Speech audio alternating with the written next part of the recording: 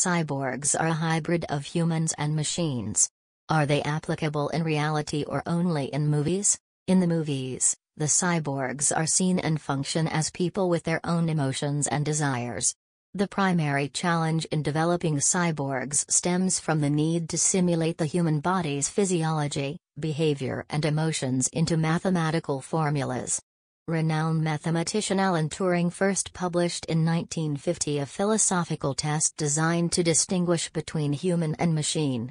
Since then, many more tests with similar principles have been created. In recent decades, artificial intelligence technology has evolved, so the original question of whether machines are capable of thinking has become more profound. Do machines have built-in self-thinking capabilities? Can they receive and express emotions? Our body never functions randomly.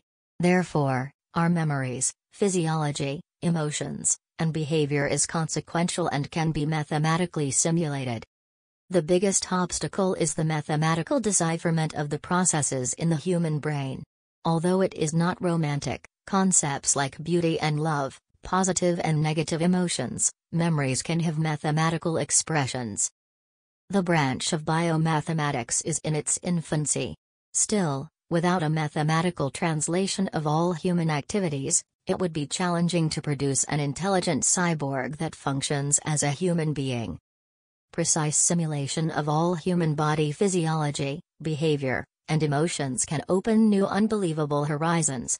The subject I have presented is just one of very profound philosophical debates consciousness and memories. Do we have free will? Can we live in a computer simulation? Many scientists today believe that the feasibility of developing human cyborgs is only a matter of time, so the answer is that the movies probably foresaw the future.